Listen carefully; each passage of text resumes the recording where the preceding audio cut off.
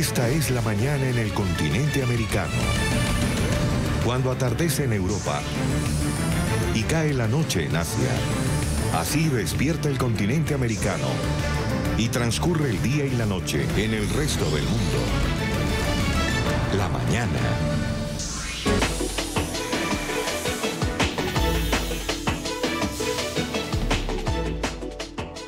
Y vamos a las noticias de la Unión Americana. Hacen falta más de 80 mil millones de dólares para superar la crisis económica, humanitaria y política por la que atraviesa Venezuela. Funcionarios del gobierno interino de Juan Guaidó dicen que necesitan préstamos bilaterales, multilaterales y donaciones para sacar al país adelante. Sin embargo, expertos aseguran que mientras más dure el régimen, más costará la reconstrucción del país. Carolina Valladares desde Washington tiene la información. Muy buenos días, Carolina, adelante.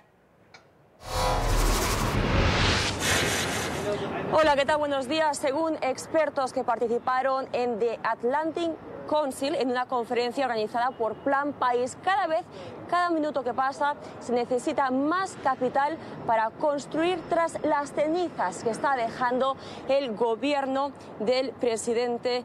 Eh, Nicolás Maduro. Además, dicen que será muy importante para reconstruir el capital privado, pero no solamente ello, sino el capital que venga de los organismos transnacionales e internacionales, porque son ellos los que mejor saben hacer un diagnóstico de la situación del país, porque ahora mismo, eh, según dijo el embajador del gobierno interino de Venezuela, de Juan Guaidó, falta información para hacer ese diagnóstico preciso ha sido el doble de lo que fue la Gran Depresión acá en los Estados Unidos, el doble de lo que fue la Guerra Civil Española.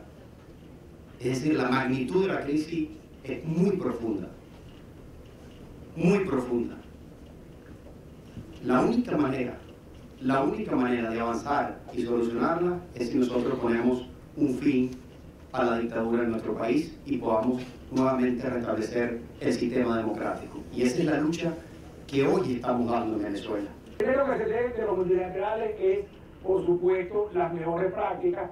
Lo segundo, como lo dijo el embajador Vecchio, el tema de transparencia, de poder trabajar de la mano este, y, de, llegar, llevar las instituciones venezolanas a los estándares de trabajar con los multilaterales, con los multilaterales, que no es fácil y que en algunos momentos lo hemos tenido. Y el tercer punto, por supuesto, el tema de financiamiento. El tema de financiamiento, si bien hace dos tres años podríamos estar hablando de 30, 40 mil millones que necesitaba Venezuela, hoy se acerca más a 60, 70, hasta 80 mil millones, es un poco la brecha que nos da, no todo vendrá los multilaterales, habrá que venir de préstamos bilaterales y también de donaciones que tenemos que buscar en la parte venezolana. Además, los expertos dicen que no ven esperanzas de cambio bajo el régimen de Maduro y que la inestabilidad económica está aumentando en cifras sin precedentes, en parte debido a la hiperinflación fruto de la crisis económica en el país. Este es el reporte desde Washington. Carolina Valladares para NTN 24.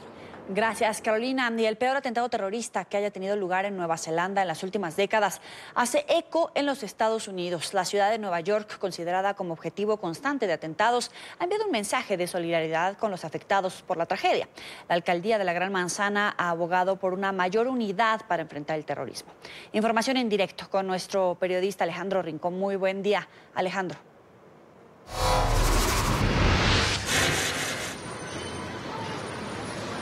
Hola, feliz viernes para todos. Las comunidades musulmanas residentes en los Estados Unidos hacen eco de este doloroso día, descrito anticipadamente por el gobierno neozelandés como la jornada más oscura que haya tenido lugar en las últimas décadas de historia de esa nación.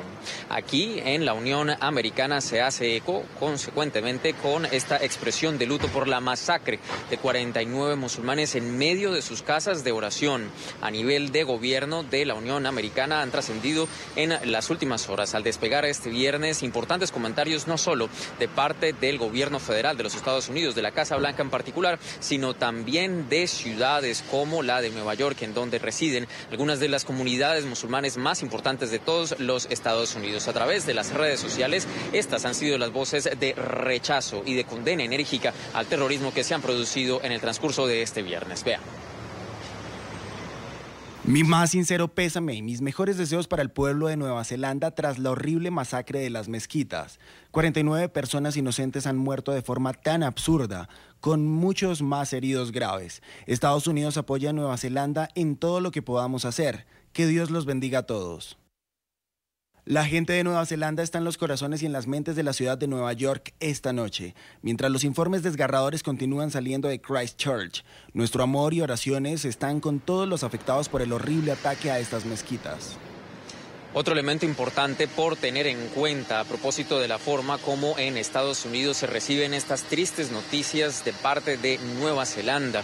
En la Gran Manzana, la policía de esta ciudad ha decidido reforzar sus labores de patrullaje en mezquitas, centros culturales islámicos y otros sectores residenciales en donde se sabe ampliamente que vive la comunidad musulmana. Esto como abundancia de precaución, además como un evidente gesto de solidaridad de que la Gran Manzana en conjunto acompaña a la comunidad musulmana que se ve ahora sumida en luto por lo sucedido en la ciudad de Christchurch. Hecho sí, adicionalmente las autoridades locales consideran que aun cuando se ha reforzado la presencia de las autoridades en las mezquitas y estos puntos de interés, pues por ahora no hay ningún tipo de amenaza creíble o directa en contra de esta comunidad. Las autoridades, sin embargo, se mantienen vigilantes ante cualquier posibilidad de que esta comunidad sea amenazada tras los tristes sucesos en Christchurch. Es todo lo que tenemos para ustedes por ahora. Continúen con más en el Centro Internacional de Noticias. Gracias Alejandro, muy buen día para ti. Vamos a dejar Nueva York y vamos a Miami. Hoy se conmemora el primer aniversario de la tragedia ocurrida tras el colapso de un puente peatonal en construcción que dejó seis personas muertas y varias heridas. Durante la jornada se van a realizar homenajes a las víctimas y sus familiares en el Centro de Educación de la Universal Internacional de Florida. Paula Serna con el reporte desde Miami. Muy buen día. Hola, ¿qué tal? Muy buenos días. Pues específicamente a la 1 y 47 del 15 de marzo del año pasado ocurría esta tragedia aquí en el sur de la Florida, el puente peatonal que se construía justamente con el propósito de proteger la vida de los estudiantes de la Universidad Internacional de la Florida que diariamente deben cruzar la concurrida calle 8 pues terminó en esta tragedia, en el desplome de esta estructura. A esa hora comenzaban a llegar decenas de rescatistas que luchaban por todos los medios para tratar de salvar el mayor número de vidas. Vehículos terminaron aplastados por el colapso de esta estructura. Seis personas fallecieron como consecuencia de esta tragedia y varios más resultaron heridos. El día de hoy la Universidad Internacional de la Florida tendrá un homenaje para recordar a las víctimas y justamente a la una y 47 de la tarde se estará guardando un minuto de silencio para honrar a las víctimas. También las banderas estarán hoy a media asta en las instalaciones de esta universidad. Tanto alumnos como representantes de la universidad y representantes también de la política estarán expresando sus condolencias. Esta investigación sobre lo que ocurrió, lo que hizo que este puente colapsara, pues se ha venido realizando durante este último año. Varias denuncias han presentado las víctimas y las familiares de las víctimas y también los sobrevivientes de esta tragedia en contra de las compañías, del consorcio de compañías que realizaban esta construcción. La última semana, la primera semana del mes de marzo, una de las compañías eh, constructoras de este puente, Munilla, se declaró en bancarrota. Ha dicho esta compañía que esto básicamente lo realizan acogiéndose al capítulo 11 de bancarrotas, pero que con esto no están tratando de desligarse de cualquier tipo de responsabilidad que tengan en la tragedia que ocurrió con este puente de la FIU que pretendía justamente brindarle seguridad a los estudiantes de este centro universitario y que terminó con esta grave tragedia el año pasado. En la información desde Miami soy Paola Serna. Continúen ustedes con más desde nuestros estudios centrales. Muy buenos días. Gracias, Paola. Muy buen día para ti. Cadena Aliada Noticias RCN fue testigo del enorme esfuerzo de las autoridades colombianas para recuperar los bienes de la desmovilizada guerrilla de las FARC que han podido ser ubicados de la lista reportada por ese grupo para reparar a las víctimas. Son inmuebles, ganado, oro, carreteras y dineros ocultos en zonas apartadas. Junto con funcionarios de la entidad oficial SAE, los operativos implican gastos para el Estado en tiempo y recursos financieros para tomar control de algunos de esos bienes. Noticias RCN acompañó uno de los operativos de las autoridades para recuperar algunos de los bienes reportados por las FARC. El inicio de la labor, San Vicente del Caguán. La hora, 4 de la mañana. El destino, antiguos predios de Manuel Marulanda Tirofijo y del Mono Jojoy entre Caquetá y Meta. Salimos antes de la aparición del sol y rápidamente encontramos las carreteras sin pavimentar que recorren la zona. Cuando llegó la luz del día, esas carreteras construidas por las FARC y presentadas dentro de la lista de bienes nos condujeron inicialmente a la población de La Tunia. Puentes en madera y hasta un puente colgante hacen parte de la infraestructura que según el Estado no tiene valor comercial para reparar a las víctimas. Lo que nosotros tuvimos durante 53 años de lucha fuera el, la economía de guerra. La delegación está conformada por funcionarios de la Sociedad de Activos Especiales, la entidad del Estado encargada de recuperar y administrar los bienes, y dos enlaces de las antiguas FARC, quienes conocen la ubicación de los predios y las caletas del grupo ilegal. En el camino también encontramos uno de los espacios territoriales para la reincorporación de las FARC en la zona rural de la Macarena. Allí, algunos objetos todavía hacen recordar que los jefes de las FARC imponían su ley en la zona.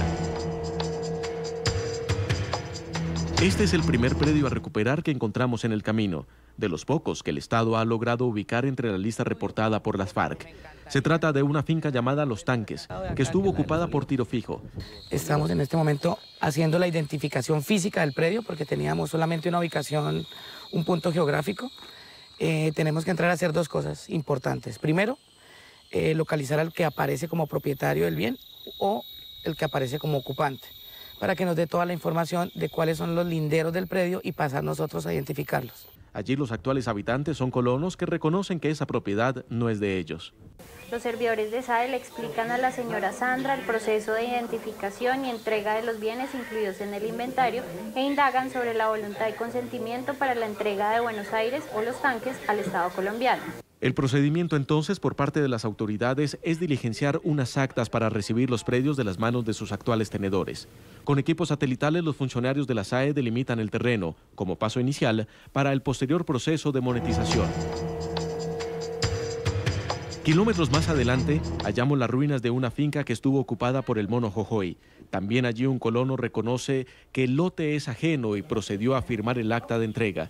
Sus pocas edificaciones están deterioradas. Don José Olivo, usted me dice que es el poseedor de la finca. Sí, porque de, todas maneras yo el que la, siempre yo el que la, la, la ha tenido todo el tiempo casi. ¿La ha cuidado todo el tiempo? Sí, claro. Al lado está otro lote. Era un taller utilizado por las FARC durante los diálogos del Caguán a finales de los años 90, predio del cual no se conoce al actual tenedor. En todo caso, los funcionarios lo delimitaron y lo incluyeron en el inventario de los pocos bienes recuperados hasta la fecha. Raúl, ¿cómo ha sido todo el proceso de la SAE para poder eh, inventariar y recuperar los bienes de las FARC? Eh, ha sido un proceso muy complejo porque realmente a nosotros nos entregaron una base de datos en Excel. Eh, nos ha tocado prácticamente desglosarla, entenderla, eh, saber que cada cosa estaba en un lugar diferente. Entre las riquezas reportadas por las FARC en esta región, aún falta por encontrar la última caleta con oro que según estimaciones podría tener alrededor de 55 kilos. El orden público en la zona, por la presencia de las disidencias de las FARC, ha impedido recuperar esta caleta. Vamos a Nicaragua. El régimen de Daniel Ortega y la opositora Alianza Cívica por la Justicia y la Democracia acordaron retomar las negociaciones para superar la crisis que comenzó en abril de 2018. Según un comunicado publicado por la Alianza Cívica, para poder volver a sentarse en la mesa, se estableció la excarcelación de un grupo de manifestantes presos que fue programada para este viernes. El informe es de nuestra cadena aliada, La Voz de América. Este lunes se retomaron las negociaciones entre el gobierno del presidente Daniel Ortega y la opositora Alianza Cívica por la Justicia y la Democracia. Sin embargo, algunos sectores como el movimiento campesino, estudiantes universitarios y organizaciones sociales no se van a sentar en la mesa de negociación hasta que se liberen a todos los prisioneros políticos que según organismos de derechos humanos superan los 700. Sigue la represión, sigue el asedio, sigue la persecución y siguen los asesinatos. Entonces nosotros como sector estudiantil consideramos que nuestra estadía dentro de las negociaciones no es lo que representa el clamor del pueblo. A través de un comunicado, el gobierno de Ortega informó que liberarán a un grupo considerable de opositores. La escarcelación de los presos significa eh, que van a ser puestos en libertad bajo las diferentes eh, medidas que ha utilizado el, gobierno eh, de Daniel Ortega y Rosario Murillo. Van a ser puestos, en esta, no es una libertad completa, simplemente es lo que ya conocemos, ¿no? La liberación, la, la liberación bajo casa por cárcel, régimen domiciliar y todos estos eh, términos jurídicos que, que se establecen. Un representante de la Secretaría de la Organización de Estados Americanos participó en la negociación de este jueves para brindar acompañamiento a los interlocutores como parte del interés del organismo para poner fin a la crisis sociopolítica. Y sigue corriendo el reloj y ya quedan tan solo 14 días para que se materialice el Brexit. Esto en medio de una tormenta política sin precedentes en el Parlamento británico. Este jueves la Cámara de los Comunes rechazó la posibilidad de hacer un llamado a un segundo referendo y también aprobó la moción para solicitar una prórroga a la Unión Europea para su salida del bloque. Los sí a la derecha 412, los no a la izquierda 202. Con esta amplia mayoría, la Cámara de los Comunes apoyó una moción para pedir a la Unión Europea una prórroga para la entrada en vigor del Brexit, que se supone debe ocurrir el próximo 29 de marzo. Esto después de haber rechazado ya en dos ocasiones el acuerdo logrado por Theresa May y la Unión Europea, así como también la posibilidad de abandonar el bloque sin un acuerdo en el sufragio del pasado miércoles. ¿Cuál es el escenario ahora? Se sabe que pedirán una prórroga, pero por ahora no hay una fecha determinada. Existen dos opciones. La primera, Theresa May regresará al Parlamento antes del 20 de marzo para intentar, por tercera vez, que su acuerdo sea aprobado por los parlamentarios. Si se da luz verde al pacto conocido como el Checkers Deal, se pedirá a la Unión Europea un plazo hasta el próximo 30 de junio para dar inicio al Brexit. Tal y como lo indicó el negociador de la Unión Europea para el Brexit, el acuerdo alcanzado es, según ellos, el único posible. Este tratado, así como está, que organiza la separación de manera ordenada, este tratado es el único posible y disponible. La segunda, si el Parlamento vuelve a rechazar por tercera vez la iniciativa de la primera ministra, se pedirá una prórroga más larga, de duración aún indeterminada. Los últimos días también han puesto una responsabilidad sobre la primera ministra. Primero, para aceptar públicamente que su acuerdo y una opción sin acuerdo sencillamente no son viables. También reiteramos nuestro, nuestro apoyo para un voto público como una opción realista para poner fin al punto muerto. ¿Qué problemas plantea este último escenario? Una prórroga prolongada implicaría, por un lado, que el Reino Unido se vería forzado a participar en las elecciones del Parlamento Europeo que se celebrarán entre el 23 y el 26 de mayo. Además, la salida prevista para el 29 de marzo es legalmente vinculante. Esto significa que para obtener la prórroga, Londres deberá no solo ofrecer justificaciones contundentes, sino que los otros 27 países del bloque deben aprobarla por unanimidad.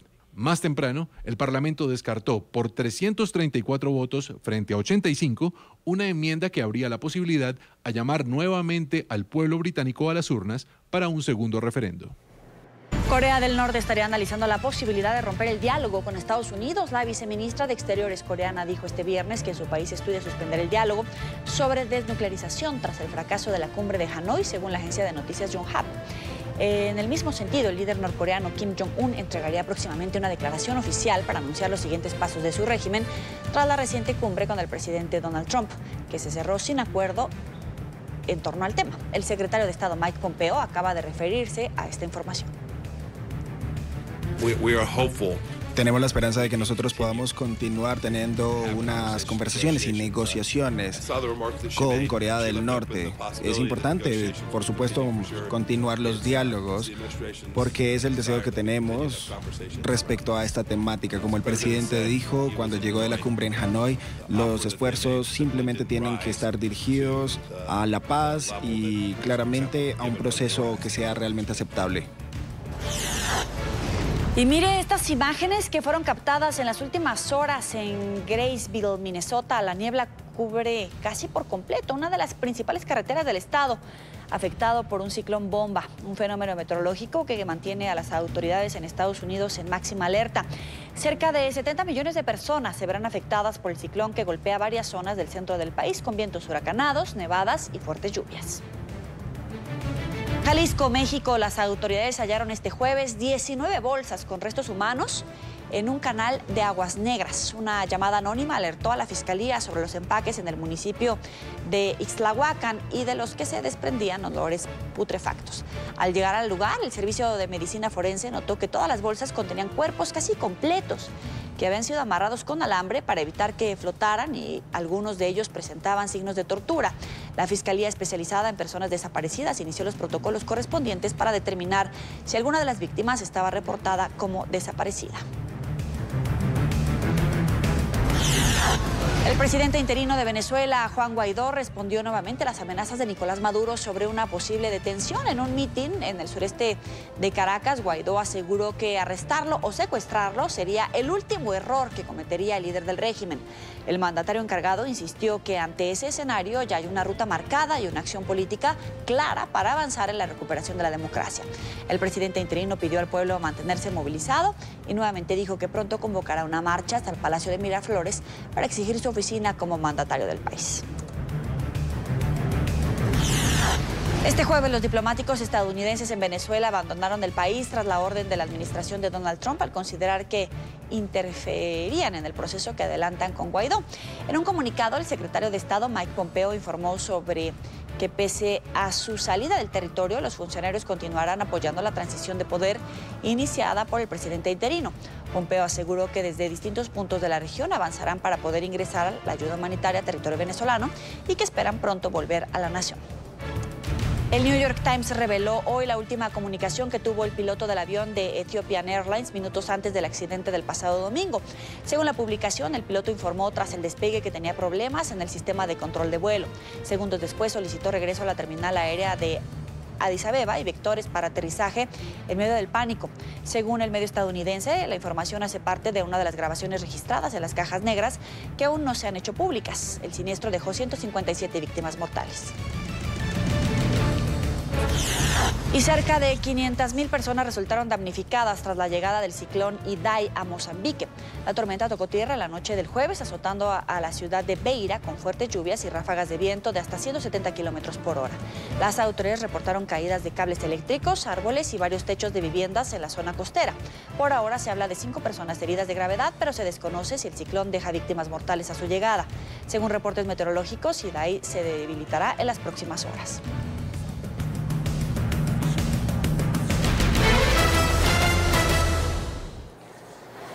Mundial sobre el cambio climático. Estudiantes de 80 países saldrán a las calles hoy para encender las alarmas en relación con la crisis ambiental causada por el calentamiento global.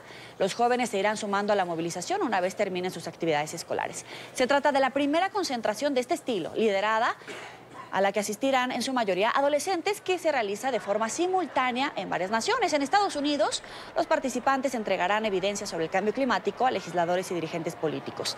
Es inspirada en el movimiento juvenil que surgió en 2018 por la adolescente sueca Greta Thunberg, quien se negó a asistir al colegio como manera de protesta para presionar a las autoridades de Estocolmo para que tomaran acciones sobre el problema. Y precisamente esta joven de 16 años, Greta Thunberg, fue nominada al Premio Nobel de Paz por haber iniciado este movimiento juvenil que exige los gobiernos acciones concretas para mitigar los efectos del calentamiento global.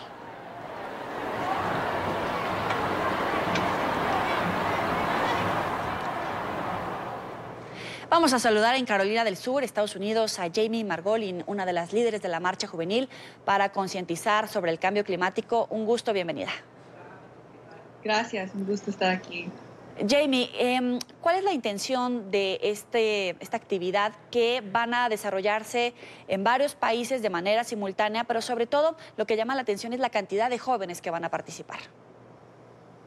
La intención es que los jóvenes tenemos miedo del futuro porque los adultos en poder nos están dejando con un futuro a donde todas las bosques están cortadas, donde el aire sucio, donde eh, con cambio climático no vamos a tener un planeta que podemos vivir en, en paz.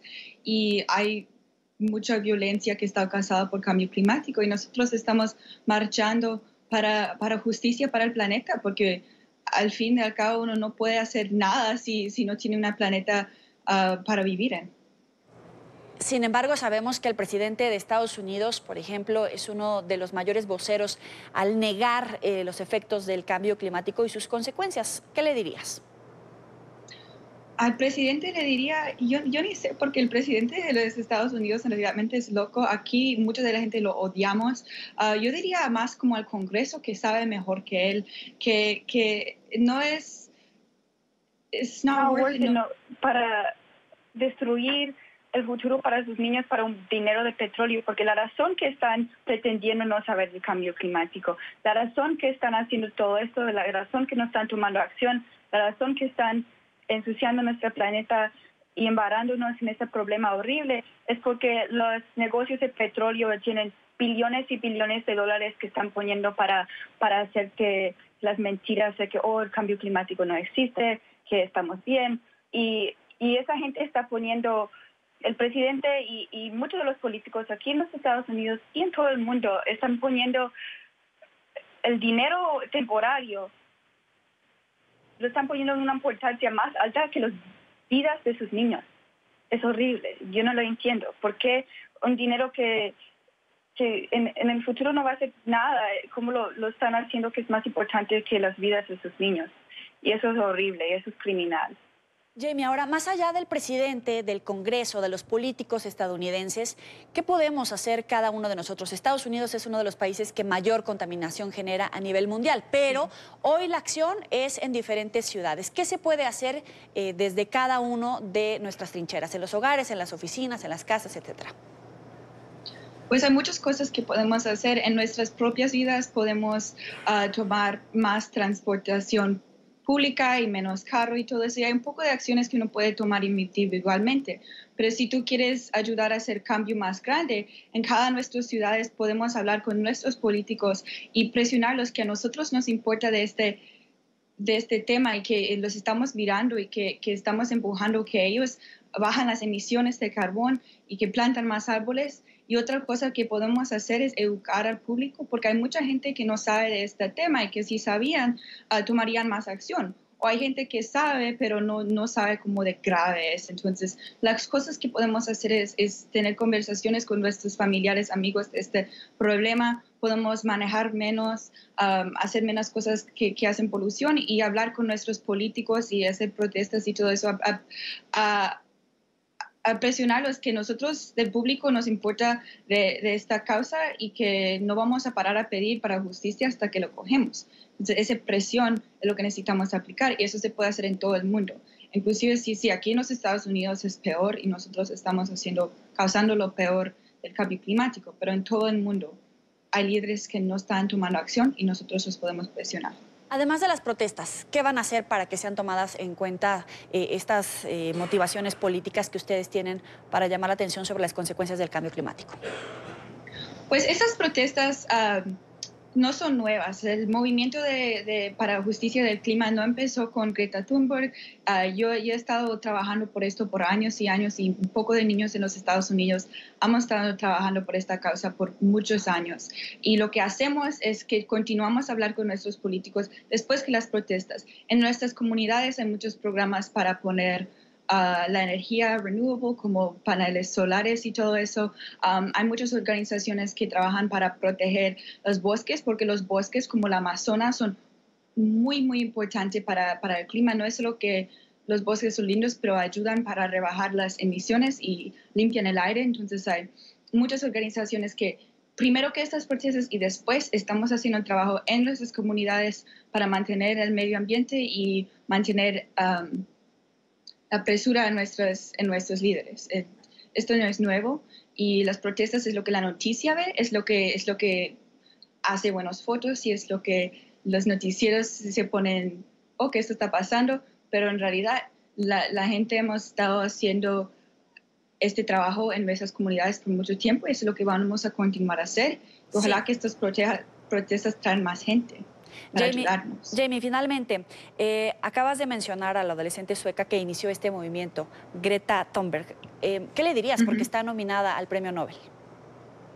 Pues yo estoy feliz que ella está nominada al premio Nobel porque lo que eso fue muy valiente. Y yo me acuerdo, Greta, ella, primero que se volvió famosa, primero que hizo esto, ah, yo estaba comunicado con ella por las redes sociales porque ella estaba viendo el activismo que yo estaba tomando aquí en los Estados Unidos con otros jóvenes y ella me estaba apoyando a mí y yo la estaba apoyando a ella. Entonces, estoy muy feliz que ella está nominada para, ese premio. Yo creo, creo que ella lo merece.